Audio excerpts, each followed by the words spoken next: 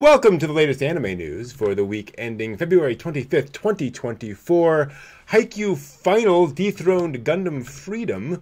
More information about the live action Naruto film. McDonald's is bringing WcDonald's into the real world. And some old classics are getting new updates. Let's go into it. These are the headlines for today. We'll be talking about uh, all of this more, particularly those last three after the data. But now let's get into it with the headlines. The Nintama Rantaro franchise is getting its first new film in 13 years. Do you remember this, Steve? I know we've talked about this in the past on the, on the show. Vaguely. I mean, it's Yeah. been such a long time. And, and, you know, they've only produced such a small amount of videos for this franchise. Just just a little teeny. No, yeah, this thing is just like, just it's like one piece. It just goes. Yeah. It just goes. Yeah. Um, so this is oh one second. This is yeah, this is going great. There we go. Uh, Nintama Rantaro. So the this is a um, ninja super deformed comedy show. It has been airing on uh, NHK since the 90s. Uh, they did their 32nd series, we premiering in April. So yeah, it's doing. Yeah. it, it's it's been chugging along, and um, uh, that is just kind of a, a thing that's chugging. That's uh, that is there. Again, not a lot of anime films because it's a goofy ninja super deformed show. Doesn't really call for a you know Gundam Freedom level uh, film, but we're getting one. Uh, it is going to be called Nintama Rantaro the movie, the Dokutake Ninja Team's strongest strategist. And uh, there's a teaser video. The teaser video is just you know special effects. Yeah. There's like no actual animation or anything. Um, Yeah, I was I was kind of hoping for something, but it was just special. And I, and I was just like, okay, so I got the. Uh, where's the character? Okay, fine. yeah. Yeah. So that is uh that is a um, it's coming, which is which is good. It's coming. If you're a fan, it's coming. Absolutely, absolutely. Um, Steve, do you want to take the next one? Sure. So I'm gonna massacre this Japanese name. Uh, Etorouji Shiono Ubelblatt. Dark fantasy manga gets TV anime. Yeah. So yet another manga gets an anime. Ubelblatt. I just like saying that. Ubelblatt. Ubelblatt. Ubelblatt. Um, so this takes uh, place uh, uh, apparently a year after uh, the final battle uh, with Glenn, with the, the female protagonist or female uh, hero heroine, Mm. crowned as Empress of the Empire. Yeah. And again, it's about a, a an un- unknown person who wields this dark blade, Mm. and and he's rumored to have killed innocents. And the bad guys are out to get him to to to stop him, but we don't know if he's actually evil or not. We, we know the answer, but that's, that's yeah. We want to be dramatic here. So anyway, if you are a fan of the Ubel Blatt uh, manga, you're going to get it, you're going to get a TV series, and it looks. If you're into fantasy, actually, I, just looking at the Yeah. the cover art here, it looks actually kind of quite interesting. It does, absolutely. Um, oh, I've just remembered, realized I can do a thing. I'm going to try something real quick. We're going to see if this uh, falls apart. Um, give me a, give us a second. Um, Steve, you should be seeing the the actual Yes. thing. Okay, good. That that should that'll make things a little bit easier for everyone. Uh, All right, moving on. Night of the Living Cat is getting an anime. Now you may be looking at this and thinking, I know of Night of the Living Dead. I know of cats. Yes, it is Night of the Living Dead with cats. It is Yes. cat zombies. Um, people in the world have turned into uh, cats who just want to kill you and eat you, aka cats, and um, they just attack everyone on sight. And there are a few humans left who are trying to survive in a world full of deadly cats. Uh, so yes, that is a that is a TV anime that is coming at some point.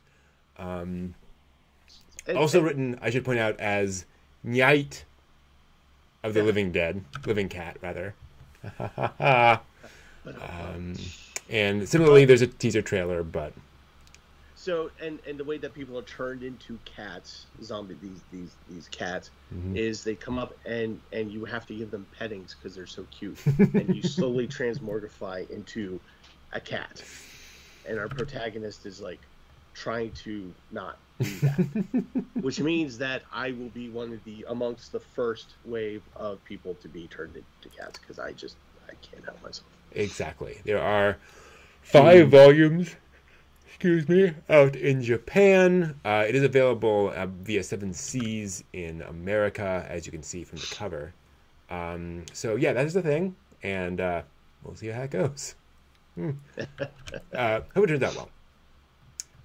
I'll buy into it. Exactly. All right. So we have another light novel getting a TV anime treatment in 2024. Isn't that nice? Yeah. So it is Let This Grieving Soul Retire. Um, so apparently this is just about a pair of treasure hunters, one of which is very good at, at what she does, and the other one, the male protagonist, is not good at it, and he just wants to stop somehow. Um, and that's basically the crux of this.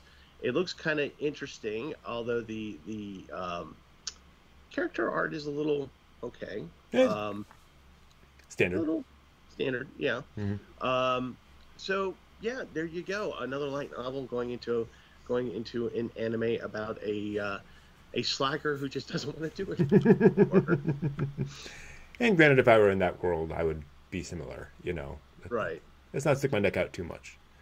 Um, exciting no- uh, news for classic fans. Oh yes. Ashita no Joe is finally getting an English translation of the manga. So uh, Kodansha is going to be publishing Ashita no Joe in eight oversized hardcover volumes. This is the first time it has ever been available in English in print. There will also be a digital release, release available. This is the original boxing manga from 1968 to 1973 with 20 compiled book volumes. So that gives you an idea of how hefty these these manga Yeah. are going to be.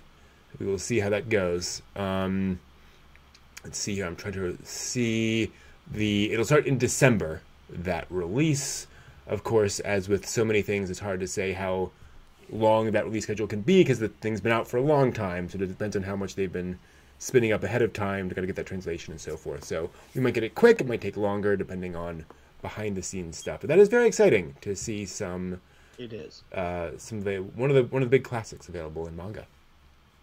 It is such a story that impacts so many anime and other mangas out there, and there's so many references to this thing. I, I, I love the idea of it, and they even had a real funeral for a fictional. Yeah. character. and I love the fact actually that they're doing it in big volumes. So you can go pick Yes. up volume one, get a good chunk of the story, and then decide, okay, do I want to commit to more? It's Yeah. not like am I gonna am I gonna pick up forty eight volumes of a thing? right. Good thing. Yeah, I, I I'm already kind of trying to figure out where I'm going to put it on the shelves. what do I have to give up? I don't want to give up anything. It's full of tough choices. All right.